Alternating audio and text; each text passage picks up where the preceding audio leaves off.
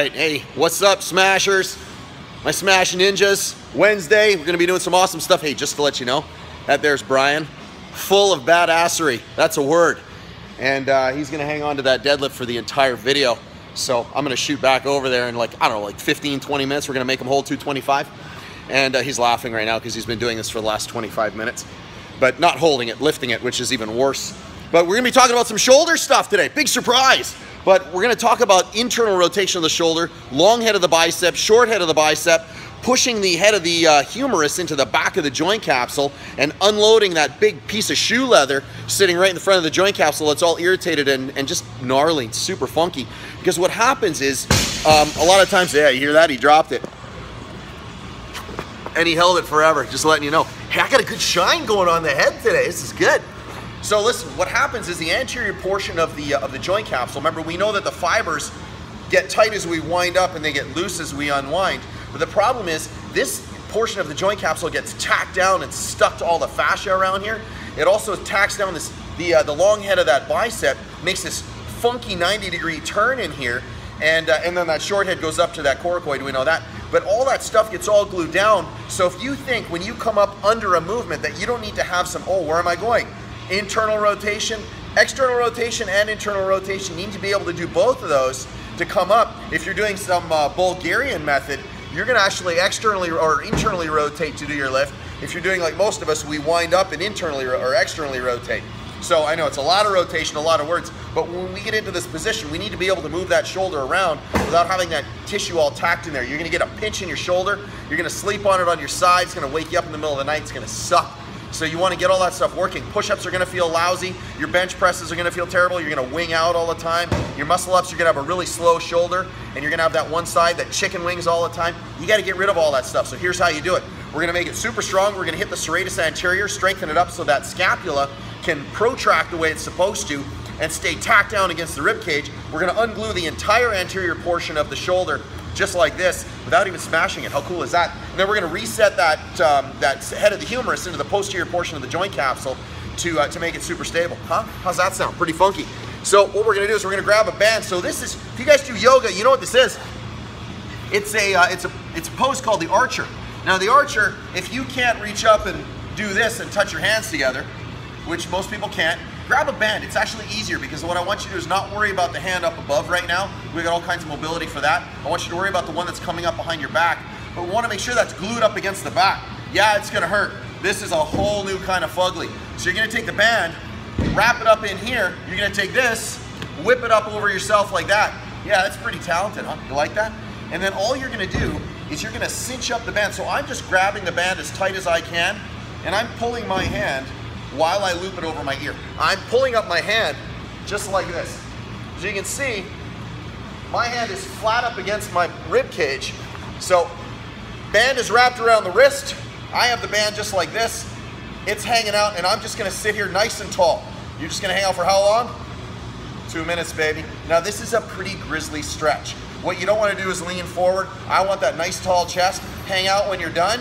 Just loosen up the band Oh, it's just abysmal. You know why? Because this is my bum shoulder. Now you can see how I wrapped it around the wrist. It's all you gotta do. Hold it for two minutes, do it twice, do both sides, even if you have a bum wing. That's number one. Number two is we gotta strengthen the shizzle. So check this out. We've got a PVC and a band. Yeah, that's pretty funny, huh? And all you're gonna do is, you see I got the PVC pipe. See if I can make this work. I probably should have dragged Brian into this video, made him do it. So you're gonna grab onto the PVC. So I've got the PVC with a heavy band. This is uh, a, one inch band.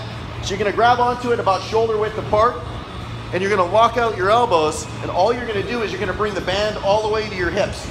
You're just, or you're gonna bring the PVC pipe all the way to your hips. I want those elbows locked out and all you're gonna do is come all the way down and all the way back. All the way down and all the way back. And how long do we do this? Two minutes. Yeah, I know you guys all said it. You guys are going two minutes. Holy crap. Yeah, I want you to do this for two minutes. So remember what I said. You're going to grab this, lock out the elbows, all the way down, all the way up. Now here's the cool part. Oh yeah, this is ad lib stuff. We're gonna mix this up so cool. We're gonna show you how to lock out those elbows. Yes, I'm still here, even though I'm not in the frame. What you're gonna do is you're gonna grab a band. You're gonna throw this around your elbows. This is where it gets pretty badass because what you need to do is you're gonna take this, this is gonna force you to lock out the elbows. So now we can't cheat. You can't bend the elbows. If you guys are having a hard time getting overhead because of a strength and a mobility issue, this will hit both all in the same fell swoop. So we lock out the arms like this with the band. You're gonna grab on to the PVC. So band locks our elbows out. We're gonna go as wide as we can. When we go really wide, what happens is you can't undo the elbows, right? So all you're gonna do is you're just gonna take your arm, gonna do the same thing. Bring it all the way down to the hips. I know right now I look like I'm an advertisement for exercise bands, but trust me, this is how you wanna do it. All the way like this, and you're gonna feel this. This will make those pulls a lot easier on a muscle up, on a pull up. And we're gonna do this for how long? Yeah, that's right, two minutes. All right, so that's number three. And number four, we wanna reset the head of the humerus into the back of the capsule. Remember, it's the most stable in the back of the capsule. So what we do is we grab a dumbbell, or a, a kettlebell rather, sorry. It's now I haven't eaten lunch, I'm hungry. And all we're gonna do is we're gonna take this, and we're just gonna armbar this sucker. Yeah, this is gonna be awesome. We're just gonna come all the way up, wind it up, take this hand, lock out that elbow, and then you're gonna let this drag all the way into the back. You're gonna let this sit all the way to the back of the capsule, get that uh, scapula out of the way, and then hang out here for as long as humanly possible.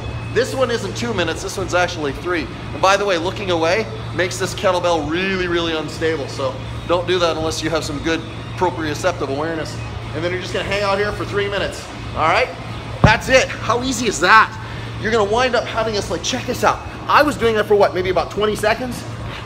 And I can I don't know if you can see that. This one's a lot shorter, so I have a stubby right arm, number one, or number two is it shoved that into the back of the capsule, which is answer number two. I feel like we're playing Jeopardy, right? We need Alex Trebek. I don't think he'd have as much fun as me. I do better with a microphone. Hey, listen, that's how you stabilize and mobilize the shoulder, get it super strong, get that overhead position. Hell, get your sleeping position even better. It's all good. Push-ups, bench press, muscle ups, everything you do. Thrusters. Hey, I'm Trev, SmashweRx. I'll catch you guys tomorrow. Have an awesome day.